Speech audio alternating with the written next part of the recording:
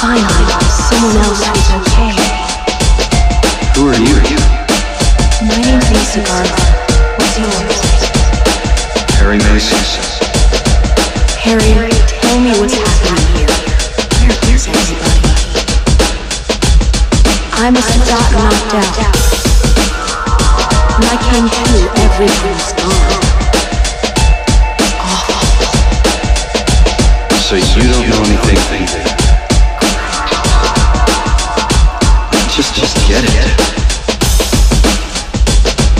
It's like this is all some kind of bad dream. Yeah, living a nightmare. Let me ask you, have you seen a little girl around here?